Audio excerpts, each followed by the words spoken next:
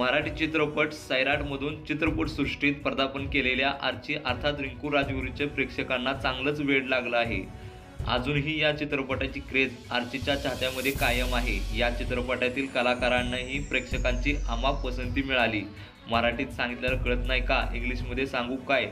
हा आर्चीचा डायलॉग तर प्रसिद्ध झाला. या आर्चीने आता आपल्या बॉयफ्रेंड बाबत एक खुलासा केला आहे. सैराटमधून एक ग्रामीण भागातील तरुण व तरुणीच्या प्रेम कहाणीने सर्वांनाच वेळ लावले. यातील गाण्याची आधी भुरळ प्रेक्षकांना पडत आहे. यातील आर्ची अर्थात रिंकू राजगुरू. हिला अनेक चित्रपटाच्या व वेबसिरीजच्या ऑफरही आल्या.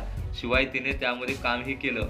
आता ती पुन्हा चर्चेत आली आहे. तिने एका यूट्यूब चॅनलला दिलेल्या मुलाखतीदरम्यान आपल्या बॉयफ्रेंडबाबत एक खुलासा केला आहे.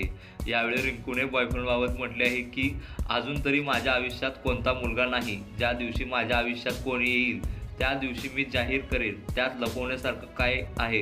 रिंकूच्या या खुलासानंतर आता परशा म्हणजेच आकाश ठोसर आणि रिंकूने खऱ्या आयुष्यातही एकत्र यावं अशी नेटकऱ्यांनी इच्छा व्यक्त केली आहे.